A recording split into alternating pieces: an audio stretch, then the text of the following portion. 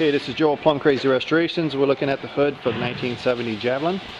Um, this had a cowl induction scoop uh, fiberglass piece on the uh, original metal hood, um, but the bodywork that was done on it was cracking and uh, it, the hood just wasn't prepped properly. You can tell uh, from the appearance of the uh, uh, underneath the bodywork. So we, we removed the scoop and we found a, a mess under here.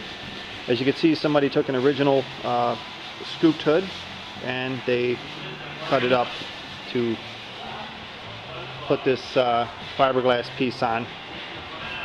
And what they did, they came in and they put metal pieces underneath here to uh, clean up the area that they had cut. And um, it wasn't treated, so you can see it's it's rusted pretty bad, uh, both of these. And there's concern of it spreading underneath the uh, hood. So what we want to do is take these pieces out, clean all this up, put some uh, some nice metal back in there, uh, clean this up, and get it ready for the scoop to go back on. Uh, this is the scoop here. Um, it's a fiberglass piece.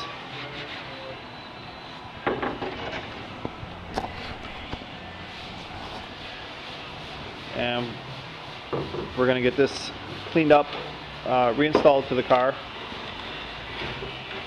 and then redo all the body work to uh, make it look good again.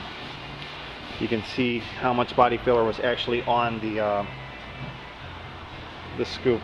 This is uh, this is a good quarter, maybe three eighths of an inch thick. So we want to try to get this as nice as possible. But as you can see, there is additional metal work needed here. Uh, just again, something unseen until you got into it.